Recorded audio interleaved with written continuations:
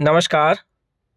आज हम बात करेंगे कोई भी राज्य सरकार का कर्मचारी, राजस्थान सरकार का कर्मचारी, जो अपनी 60 वर्ष की सेवा पूर्ण करने के पश्चात 60 वर्ष की आयु पूर्ण करने के पश्चात सेवानिवृत्त होता है, उस दरमियान उसे कौन कौन से लाभ राज्य सरकार की ओर से देय होते हैं और कितना अमाउंट उन्हें दिया जाता है और उसकी गणना कैसे की जाती है। आज हम एक उदाहरण के माध्यम से समझेंगे कि एक राज्य सरकार का कर्मचारी जो 1987 में, यानी कि उन्नीस सौ सत्तासी में नियुक्त हुआ और 2024 में वो सेवानिवृत्त होने जा रहा है और इतनी लंबी सेवा अवधि के पश्चात वो सेवानिवृत्त होने जा रहा है तो उन्हें सैंतीस वर्ष की सेवा के बाद में कौन कौन से मद से कितने पैसे दिए जाएँगे और उनकी गणना कैसे की जाएगी? तो चलिए शुरू करते हैं। सबसे पहले एक सरकारी कर्मचारी जिनकी प्रथम नियुक्ति तिथि है वो उनतीस दिसंबर उन्नीस सौ सत्तासी है और सेवानिवृत्ति तिथि है वो इकतीस मार्च 2024 है ठीक है? और जब वो सेवानिवृत्त हो रहा है यानी कि वर्तमान की ही बेसिक जो इकतीस मार्च तक रहने वाली है जो है अस्सी हज़ार दो सौ रुपये और सेवानिवृत्ति पर जब कोई आ, सरकारी कर्मचारी जाता है तो उसे कुछ लाभ दिए जाते हैं जैसे एसआई की राशि का भुगतान होता है जीपीएफ की राशि का भुगतान होता है और पीएल और जो उपार्जित अवकाश उसके खाते में जो क्रेडिटेड है, उसका नकद भुगतान किया जाता है और पेंशन की बिक्री या फिर जो पेंशन का कम्यूटेशन होता है, उसका भुगतान किया जाता है और इसके साथ साथ ग्रेजुएटी का भी भुगतान किया जाता है। तो अलग अलग प्रकार से हम समझेंगे कि कौन सी मद में कितनी राशि का भुगतान किया जाएगा। अब जैसे कुछ राशियाँ ऐसी होती है जो सरकारी कर्मचारी अपने सेवा काल के दौरान राशि को अपने वेतन में से जमा करता है यानी कि उसका प्रतिमाह उस मद से डिडक्शन किया जाता है। जैसे मान लीजिए अगर कोई कर्मचारी ओपीएस के अंतर्गत आता है तो वो जीपीएफ कटौती करवाएगा क्योंकि उन्नीस में नियुक्ति है तो वो ओपीएस के, के अंतर्गत ही आता है। तो वो जीपीएफ की कटौती करवा रहा है तो उसे ब्याज सहित जीपीएफ की राशि का भुगतान किया जाएगा। तो जीपीएफ इस कर्मचारी के संदर्भ में देखें तो इनके खाते में वर्तमान में जीपीएफ की राशि है वो सत्ताईस लाख पचहत्तर हज़ार छः सौ अठहत्तर रुपये वर्तमान में है। ठीक है तो हो सकता है कि इकतीस मार्च 2024 तक ये इस राशि में थोड़ा सा इजाफा हो जाए, क्योंकि इसमें मिलने वाला जो ब्याज है, वो भी इसमें काउंट हो जाएगा। ठीक है?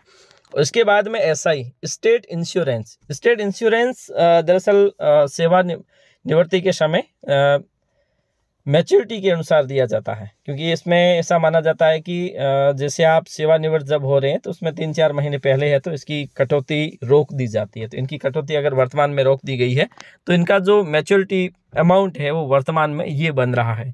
सोलह लाख सतहत्तर हज़ार एक सौ अट्ठावन। और ये भी एज ए कर्मचारी के रूप में प्रति माह इसकी डिडक्शन है वो उसकी सैलरी में की जाती है। तो ये दो राशियाँ हैं जो अपने सेवा काल में जिस राशि का वो डिडक्शन करवाता है अपने वेतन में प्रति माह। तो सेवा काल के दौरान जो एक कर्मचारी ने प्रति माह डिडक्शन करवाया है, उसे ब्याज और बोनस सहित है वो राशि का भुगतान राज्य सरकार की ओर से दिया जाता है।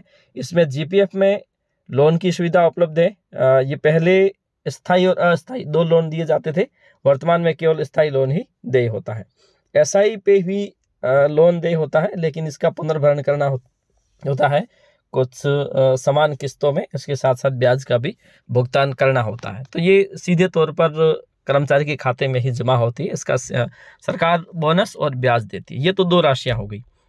इसके बाद में कुछ राशियाँ हैं जो आपके अंतिम वेतन पर निर्धारित करती है। मान लीजिए आपका जो अंतिम वेतन, जब आप सेवानिवृत्त हो रहे हैं, उस समय आपका वेतन क्या है? उसके आधार पर आपकी वो राशि निर्धारित करेगी कि कितना अमाउंट आपको मिलने वाला जो प्रत्येक कर्मचारी को अलग अलग होता है। एक होती है पेंशन की पेंशन की बिक्री या कम्यूटेशन ऑफ़ पेंशन सरकार ये आपको ऑप्शन देती है कि आपका जो पेंशन की बेसिक है, उसका अधिकतम एक बटे तीन भाग, यानी कि तैतीस प्रतिशत हिस्से का आप कम्यूटेशन करवा सकते हो। तो कम्यूटेशन जो होता है, वो तैतीस प्रतिशत तक होता है। मान लीजिए आपकी जो अस्सी हज़ार दो सौ रुपये मूल वेतन है, अंतिम वेतन है तो ऐसी स्थिति में आपका जो पेंशन का बेसिक होगा, वो चालीस हज़ार एक सौ रुपये होंगे और चालीस हज़ार एक सौ रुपये का तैतीस प्रतिशत। तो यहाँ पे आ जाएगा और चालीस हज़ार एक सौ का तैतीस प्रतिशत होता है तेरह हज़ार दो सौ तैंतीस रुपये इसको निकालने के लिए फॉर्मूला ये है उसके बाद में उसको गुणा किया जाता है बारह का और उसके बाद में यह जो फैक्टर होता है कम्यूटेशन फैक्टर होता है वो निर्धारित है पहले से ही।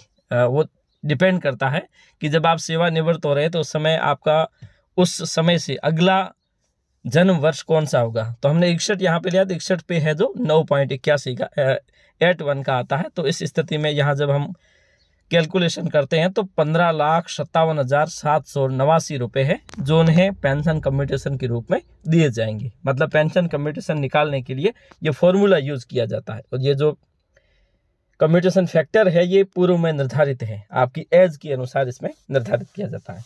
उसके बाद में जब आप सेवा काल के दौरान रहते हैं तो प्रति वर्ष राज्य सरकार की ओर से, यानी कि संबंधित सरकार की ओर से, आपको कुछ अवकाश अर्जित करने का अधिकार देती है। प्रति वर्ष, प्रत्येक कैलेंडर वर्ष में पंद्रह पीएल आप जोड़ सकते हो। अगर आप अध्यापक हैं तो और अन्य किसी भी ऑफ़िस में कार्य करते हैं तो तीस जोड़ सकते हो। किसी भी कर्मचारी को अधिकतम है वो तीस दे होती है और कुछ के मामले में है तो फोर्टी टू भी होती है, जैसे कि सशस्त्र सीमा बल वाले, इनके है वो फोर्टी टू रहता है, ठीक है?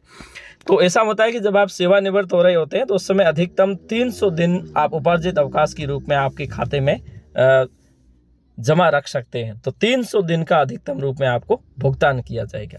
300 जैसे आपके अकाउंट में, यानी कि आपके खाते में 280 है तो आपको 280 का भुगतान किया जाएगा। अगर 300 से ज़्यादा हो रही है तो वो बिल्कुल काउंट नहीं की जाएगी।